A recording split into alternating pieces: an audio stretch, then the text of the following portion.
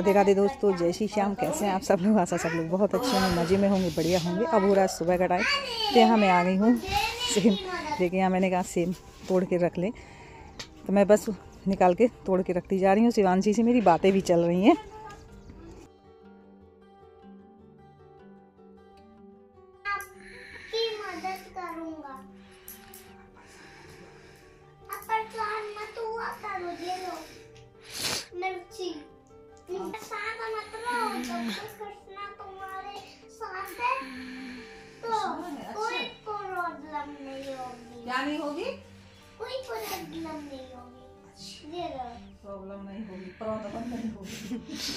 ये लो ये है क्या चीज़? ये सेब है जानते हो? क्या बनता है इसका? इससे सब्ज़ी अच्छा। कौन बनाता है इसकी सब्ज़ी? आप और कौन बनाता है? मैया हैं? मैया मेरे मैया बहुत अच्छी चलती है।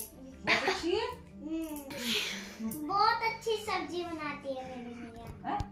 भैया हमको तो अच्छी नहीं लगती तुम्हारी मैया आपको तो अच्छी लगे यार कि ना लगे? मुझे तो बिल्कुल अच्छी लगती है। तुम्हारी मैया मुझे पसंद नहीं है। बुआ जी तुम्हें मेरी मैया पसंद नहीं है तो मुझे बहुत ज़्यादा पसंद लगती है। तुम्हें भी नहीं। मैया के बारे में ऐसे मत बोलो। ऐसे ही बोलेंगे। नहीं। मेरी प्यारी मैया है। वो मेरी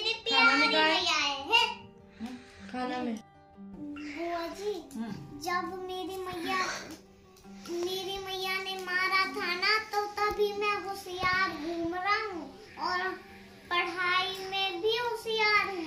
अच्छा तो... लेकिन मैं वन टू थ्री में होशियार हूँ और छोटा बड़ा में होशियार हूँ हाँ और वो एबीसीडी में होशियार मना दिया कब से होशियार बैठा हूँ आज मैया ने होशियार नहीं मनाया होता तो मैं ऐसे ही गधा रहता आज गोलू भैया को ऐसे ही मार के पढ़ाया करो अच्छा। उसी खाना ही कुछ कब से गधा है।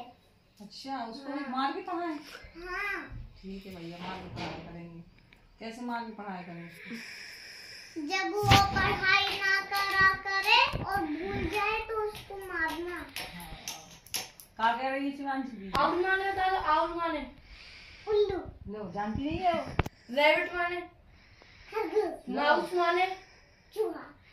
पता नहीं उसको ऐसे कर उसकी मम्मी मैया पढ़ाती माने? इसको देखो सब जानती है वो। क्या पूछ रहा भैया एलिफेंट माने हाथी। और इसके बाद मैं आ गई हूँ मैं किचन में नहा के मेरी पूजा वगैरह सब हो चुकी है। तो सब्ज़ी मैंने पहले ही काट के रख ली थी और सब्ज़ी बना रही हूँ। जितना मतलब पूरा काम सुबह का ही होता है जितना भी होता है।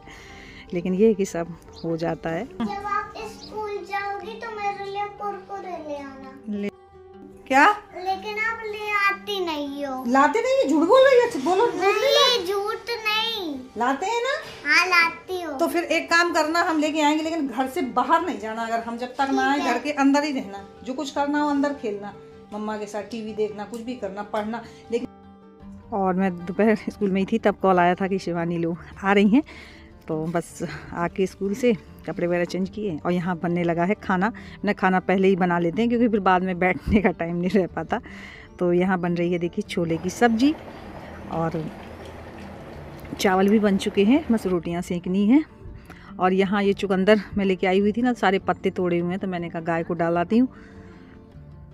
तो जा रहे हैं अपनी, मैं जा रही हूँ, गौरी को डालने। और शिवांशी मेरे पीछे ही चल देती है। जब वो भी गाय के पास जा रहे हैं तो खास कर इनके पास नहीं आना, चलो, मैंने डाल दिया खाना, चलो। अंदर चलो। हाँ वो खा लेंगी, अब चलो। नहीं मार देगी, चलो चलो चलो, खा लेगी, वो उतनी सी घास में छक थोड़ी जाएगी वो। खा लेगी खा लेगी, चलो। कोई कोई नहीं गिरेगा, तुम ही ना, गिर जाना। तो तुम ही फेंक दो, इतना तो काम कर दो ना, फेंक आ जाके जाओ फेंक जाके। वहाँ गैलरी में डाल देना, वहाँ डली वो बाल्टी रखी है डस्टबिन में। और यहाँ देखिए शिवानी आ चुकी है और ट्रेन आज काफ़ी लेट हो गई तो टाइम भी हो गया। तो बस यहाँ हमारी दोनों बहनें की चल रही थी बातें। और मैं जा रही हूँ चाय बनाने। चाय बन रही है। और शाम आ गया है ना तो गोलू, अभिषेक दोनों फिर तो हटने का नाम ही नहीं लेते वहाँ से। पहले ही झपट लेते हैं, घर में आने से पहले ही गोद में ले लेते हैं। तो यहाँ बन रही है मेरी चाय।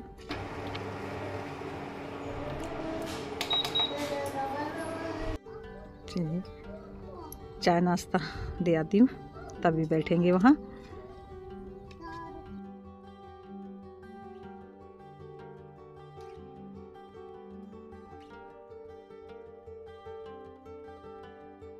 और शिवानी आई है और उस दिन पिताजी की दिखाना था, इसलिए राहुल आ गए थे। और शिवानी को भी आना था तो अब वो बाद में आई है।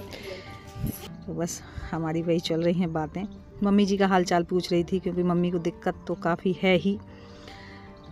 लेकिन ये है ना कि हम सुन के ना, बस ऐसा लगता है कि वहीं पहुँच जाएँ, लेकिन अब करें क्या? तो वही बता रही थी कि मम्मी को दिक्कत बहुत ही है। और शाम कितने दिन भी बाद मिले, लेकिन पहचान तुरंत जाता है मासी को। कितने दिन बाद भी मिले मुझे, लेकिन एक बोलते ना, बच्चे भी सब समझते हैं। और यहाँ शिवानी की, मेरी और नीलम की सबकी चल रही थी बातें। शिवानसी और श्याम दोनों लगे हुए थे। अपनी अपनी कंपनी में सब मस्त हो जाते ये देखिए बहन भाई की, इनकी लगी हुई है कंपनी। यहाँ हमारी ननद भाभीियों की लगी हुई है। सबकी अपनी अपनी बातें चल रही हैं।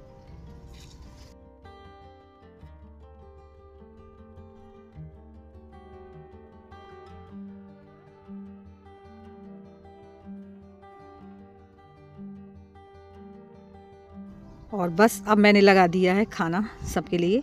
ये सब लोग खा चुके हैं बस हम ही लोग बचे हुए थे तो हम शिवानी ने खाना खाया इसके बाद शिवानी दिखा रही थी लंच बॉक्स पराठा आया था। एक ठो। खाया उन्हें नहीं खाया फिर? खुद खा लिया है? हम्म, अरे वाह डुग्गू का टिफ़िन तो अच्छा है। लंच बॉक्स अवैसे तैयार हो गया तेरा? क्यों डुग्गू? ओ सीटी बज रही है। दे दो भैया उसका लंच बॉक्स दे दो भैया दे दो भैया।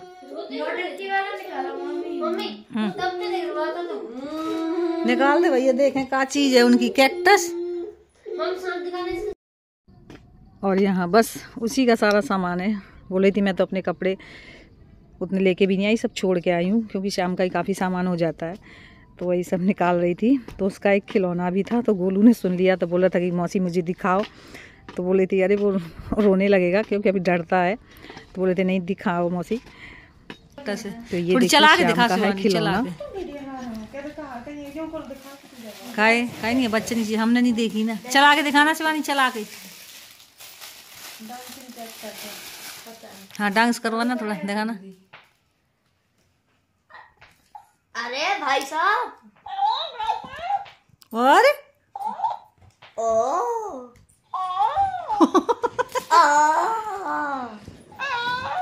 अरे कितने का है शिवानी? बोल बोल। श्याम? हाँ श्याम दूध पियो।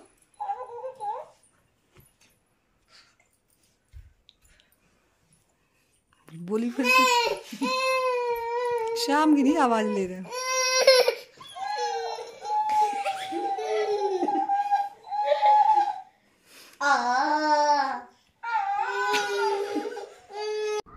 और गोलू ना उसे बार बार अपने पास खिलौना दिखा रहा था, लेकिन वो खिलौना देखने के लिए बिल्कुल भी मन नहीं कर रहा क्योंकि उसे डर लग रहा था। मतलब जैसे ही आवाज़ निकाल रहा था ना तो उसे अजीब सा लग रहा था।